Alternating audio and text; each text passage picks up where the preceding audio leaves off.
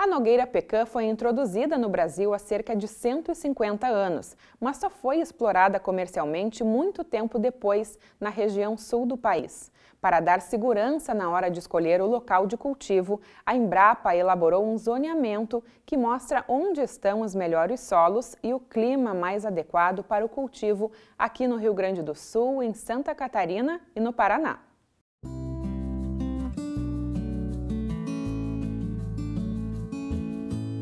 A Nogueira Pecan foi introduzida no Brasil em 1870, mas só foi explorada comercialmente por aqui 100 anos depois na região sul do país.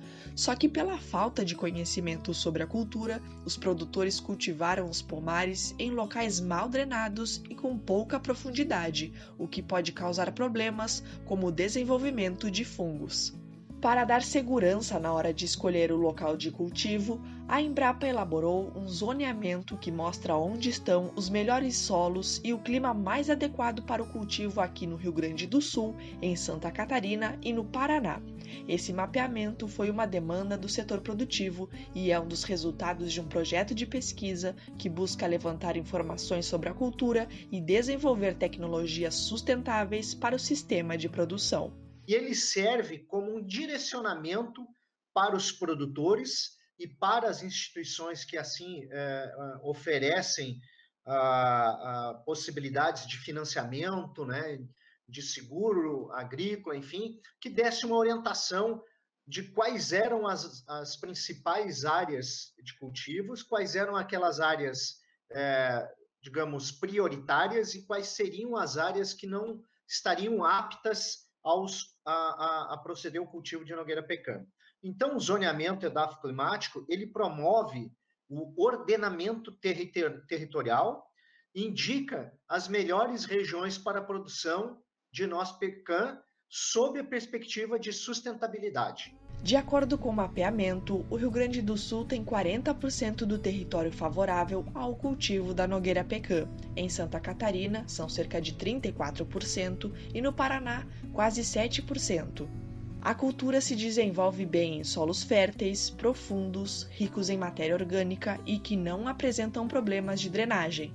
Com relação ao clima, necessita de frio acima de 100 horas anuais, dependendo da variedade cultivada, e não tolera alta umidade. O plantio em áreas recomendadas diminui o uso de insumos e a necessidade de manejo.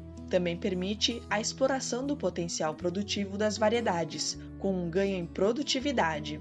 Além da questão estratégica, o zoneamento endafoclimático ainda possibilita ao produtor a tomada de decisão sobre a avaliação da, da adequação da sua área para a implantação de um novo uh, pomar de nogueira pecan, assim como a escolha das variedades mais adequadas para a sua realidade. O zoneamento edafoclimático ainda é uma importante ferramenta que serve de base para a criação de outros instrumentos, como, por exemplo, o zoneamento de risco climático, esse zoneamento, por sua vez, ele contempla as informações necessárias para que os agentes financeiros possam fazer o financiamento da implantação de novos pomares, o que é considerado extremamente relevante quando se trata de uma cultura de alto investimento de implantação, alto custo de manejo e longo período para o retorno do investimento.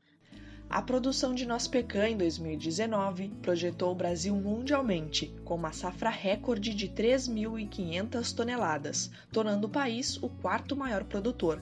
Para 2021, a expectativa é bater um novo recorde, superar 4.500 toneladas. Com relação à área cultivada, o país foi de 930 hectares em 2004 para cerca de 10 mil hectares em 2019, grande parte situada no Rio Grande do Sul. Neste ano, a média de produtividade está prevista para superar a cifra de uma tonelada por hectare. Esse recorde de produção é atribuído a diversos fatores, dos quais merecem destaque o clima no período de 2020 a 2021, eh, sendo extremamente favorável à polinização das frutas e com índices pluviométricos bastante satisfatórios durante o enchimento do fruto.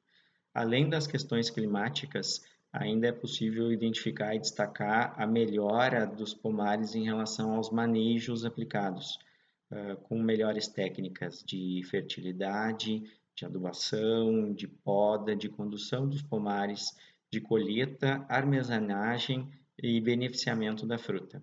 Além do que, eh, se registra diversos pomares jovens, no qual a produção tem um incremento anual exponencial e a entrada na fase produtiva de diversos novos pomares. A cultura tem crescido no campo e, para acompanhar a produção, a cadeia produtiva também está investindo no consumo. A nossa pecan pode ser comercializada assim, em natura, processada e também pode ser usada para a fabricação de cosméticos.